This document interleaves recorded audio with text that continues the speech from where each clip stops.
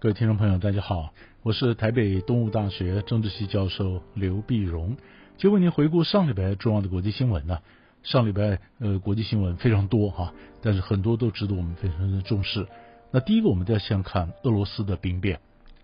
俄罗斯在上个礼拜六啊上演了一场兵变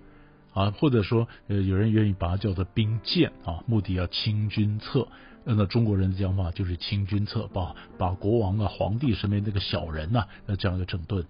那到底怎么回事呢？那主要就是俄罗斯的瓦格纳民兵集团，他的首脑呢普利格金发动了这个部队，想要直打到莫斯科。啊，要冲击莫斯科，那希望呢？那么呃，跟莫斯科高层啊、普京啊什么来会谈？会谈呢，就是就是指责这个军方啊，对呃瓦呃瓦格纳集团呢多所的压制啊，他要求要要换掉军方的高层。我们晓得瓦格纳集团呢，这个这个民兵组织啊，私人军队啊，他就是呃里面的成员呢，大概都是呃从监狱里面找来那些亡命之徒啊。普利格金呢，在也在政府默许之下，在监狱里面去找人，找人呢，找这些不怕死啊，这些亡命之徒呢，说你们反正都身犯重罪啊，那要不要出来，我们一起去保家卫国啊？只要你跟我签了约，在一定的这个时间内呢，完成的呃，在约满了之后，只要你没被战死，那你过去的这个罪行呢，就一笔勾销，你就可以回家啊。那很多人的这个亡命之徒就参加了，所以这一群这一群的这个瓦格纳集团的这些民兵呢，骁勇善战啊，而不但骁勇善战呢，他们甚至是能文能武啊。在二零一六年美国总统大选的时候呢，俄罗斯明显的想要呃透过网络啊、资讯呃信息战呢来干预美国的大选。所以当时瓦格纳集团的这个普利格金呢，就说好，那我们就成立一个内容工厂啊，那不断的就制造一些假新闻啊、假信息啊，扰乱美国的选举。那么在非洲呢，在叙利亚这些地方呢，当俄罗斯的正规军不方便进去的时候呢，哎，就由瓦格纳民兵啊，他们先进去打，等于等于呢，政府政府军不能打，我帮你来打，那我就所谓的灰色地带，我们叫灰色地带的冲突。所以这些民兵呢，过去也都是跟呃政府军呢，或跟俄罗斯政府呢是互相唱和的。所以瓦格纳民兵之所以势力做大，当然也是普京养大的嘛。那可是当他势力做大之后，那军方就不见得呃跟他们很对盘了啊，因为军方呢就觉得说你这完全不受节制啊。所以国防部长绍伊古就讲，跟这个普利格金讲，你那些民兵啊必须跟政府签约，你好歹说些节制嘛。但是普利格金反对啊，好，这是我的部队啊，我的部队，那你为什么呃你要这样的收编呢？啊，当然不干，不干呢，所以他就指责，就发现呢，国防部后来在打仗的时候跟他们不见能齐心呐，啊，该给的这个呃补给没来啊，该给的粮饷没来，该给的弹药没有来，那导火线呢，就是普利格金说你政府军居然还发动飞弹呢来攻击我的营房啊，嗯，造成我的一些损失，这种可以自己自己窝里反。但是国防部是反否认说没这回事儿，但是布利格金说不行，我们必须跟政府要去谈判啊，要要求政府官员出来跟我谈啊，那国防部的官员必须下台，在那会议师啊，就想要到莫斯科讨个公道，所以他就要做正正义之旅。可是问题就普京来讲，你这犯了普京的大忌啊！我睁只眼自闭只眼，任任你这样子养大是可以，可是当你到莫斯科来，你要跟我要东西，这怎么可以？所以普京马上就发表演讲，就说为这次行为定性，你就是叛变。那这一叛变呢，当然普利格金就嗯发现，哎呀，这个这个没根本没办法赢嘛，你的部队怎么可能真的打下莫斯科呢？那也有外电报道，俄罗斯的情报人员事实上已经找到了普利格金的家人，拿这个家人威胁普利格金，你的部队就不要进来了，要不然的话就会有人流血。啊，后来大家都说希望不要俄国人的流血在这种无谓地方流血，普里格金说那就叫停。这时候需要个下台阶，所以那么白俄罗斯总统卢卡申科啊，鲁加申科就跑来了，因为他跟普里格金也相识二十几年，跟普京也是都是老朋友。他说那叫我来扮演一个下台阶，那普里格金呢，你就到白俄罗斯来流亡，我把你养着啊，那你的这个部队呢就回去，回到你的营房里面去。那政府这边就同意啊，既往不咎，就算没发生过。那这个瓦格纳民兵的，里面有些人就生气了，他说：“我是被普利格金带着走一半，怎么你自己跑掉了？啊，觉得被被出卖、被骗了啊。”好了，这事情怎么善后？啊，怎么善后？善后对第一个就看普利格金他在白俄罗斯，他在白俄罗斯怎么待，待多久？他会还是遥控他的部队吗？啊，第二，那这个部队呢，回到他他们在乌克兰俄国占领区的这营房里面，那最后呢是要被收编呢，还是要解编呢？啊，然后第三，我们就看到国防部当然是赢了，可是普利格金他的讲法是，我的部队比你正规军会打仗啊。那正规军必须跟普京证明，呃，没有这个瓦格纳民兵，我们一样打得好好的。好，那你就必须打一场战争来证明说你很会打。那是乌克兰是不是也会遭遇到比较大的压力啊？但也有西方的学者的分析呢，这件事情可以看到，俄罗斯内部事实上已经有不稳啊，普京内部可能是不稳，可能不稳呢。那中国这边也是非常紧张。而中国大陆也盯着看，万一俄罗斯内部真的不稳的话，那会不会影响到中俄关系？啊，冲突会外溢啊？以目前来看，当然这一关是过了，但是后面后续是不是代表真的不稳呢？有没有什么后遗症呢？啊，那这个是我们持续关注的重点。第二大块新闻呢，我们看印度，印度总理莫迪啊，上个礼拜到美国进行了两天的国事访问，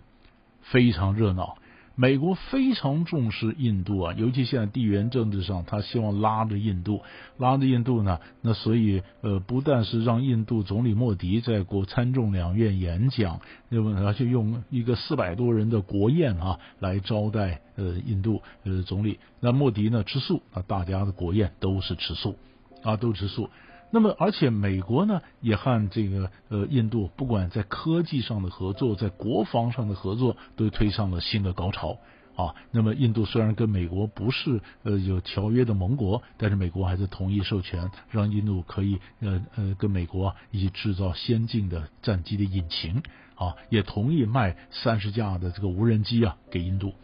那么双方的国防合作、国防科技的转移也有新的一个框架，快速的进行国防科技的转移。哇，这事情一出一出来以后，当然莫迪非常高兴啊，莫迪非常高兴，他说这是代表美国跟印度史无前例的互信啊。可是问题是，美国一些媒体呢，却是非常的小心谨慎，就提醒拜登政府，拜登政府老是想说，美国跟印度它有共享的价值，都是民主价值。那美国的媒体就讲说，不是印度事实上民主的开倒车，美国印度共享的只是利益，并不是价值啊。而且印度呢，最大特色是它是变来变去啊，它变来变去，所以不见得美国把印度捧捧到天了，然后印度跟美国就会怎么样的呃紧密啊。在对抗中国的时候呢，可能有重叠的利益，可是碰到俄罗斯的时候，却不见得呃双方是同调的啊。所以美国还必须要小心。可是你可以看得到，印度它也是非常具有企图心的。所以印度印度总理莫迪刚从美国访完，就上个礼拜六二十四号，他就到了埃及访问了。埃及访问，那么他在埃及访问呢，双方也同意呃增强他们的贸易关系、他们的文化关系。那么双方不管在网络安全、资讯科技上都加强，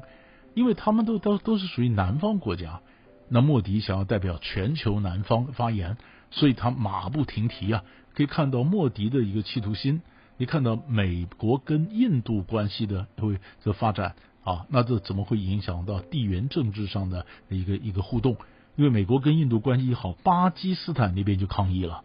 巴基斯坦的抗议，那中国大陆当然也盯着看美国跟印度的关系，那后面会什么影响？这是值得我们去关注啊，这是美印关系。那么美英关系也就在上个礼拜，我们看到还有一个国家的元首也非常的一个活跃，那就是韩国总统尹锡悦。尹锡悦呢，那上个礼拜他到法国，也到越南去访问。上个礼拜五六月二十三号的时候，他到越南进行了三天国事访问啊，和越南也达成了很多协议，深化经济伙伴关系。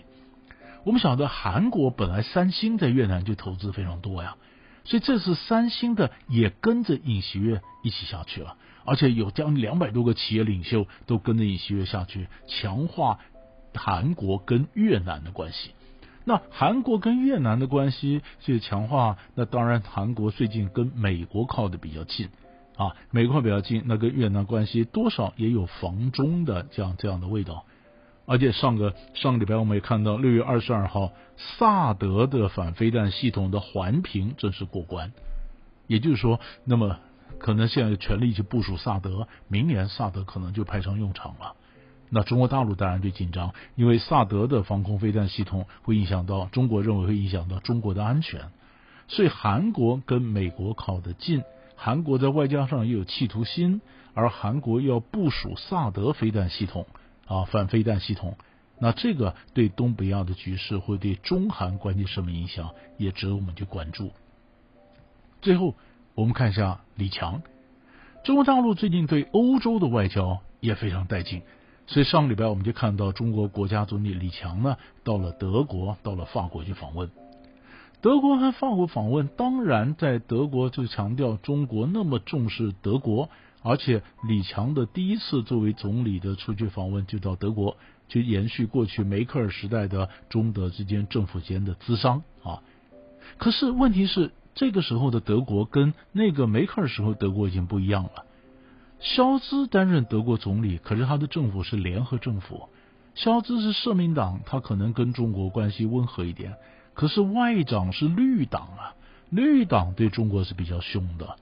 所以德国内部的态度不见得一致，但是更重要的，我们是放大来看。那么李强这次去很重要的一点呢，他是强调什么叫做去风险化。那么因为在在这个呃四月份的时候，那么范德莱恩呢，欧盟呃执委会主席范德莱恩跟马克宏到中国大陆的时候呢，范德莱恩就不断讲，他说过去讲的跟中国脱钩，但事实上我们讲的不是脱钩，是去风险化。但什么叫做去风险化？所以李强这次提出来是中国的定义啊。他说西方嘴巴讲去风险化，其实他还是想跟中国脱钩断链。所以李强就讲说，你你说什么叫做风险？如果把相互依存就叫做等于风险，这怎么算呢？相互依存并不是一个风险呢啊！而且他也强调说，你真的是双方没有合作了，没有什么方没有联系，这个才叫做风险。啊，那也就在李强在嗯欧洲访问的时候呢，欧盟公布了经济战略啊，就是经济的呃，他们他经济安全战略。那经济安全战略里面也讲说怎么样的要经济独立，不要对中国偷偷依赖哈。所以经济安全战略将来会怎么发展，怎么执行？那中国用中国的定义叫去风险化，跟美国和欧洲的定义的去风险化有没有什么不一样？那这几个不一样定义，最后汇整出来，会造成国际政治经济形势的一个什么样貌？这个正在发展，也很值得我们去关注。所以，大概上礼拜几大块的新闻就为您整理到这里，我们下礼拜再见。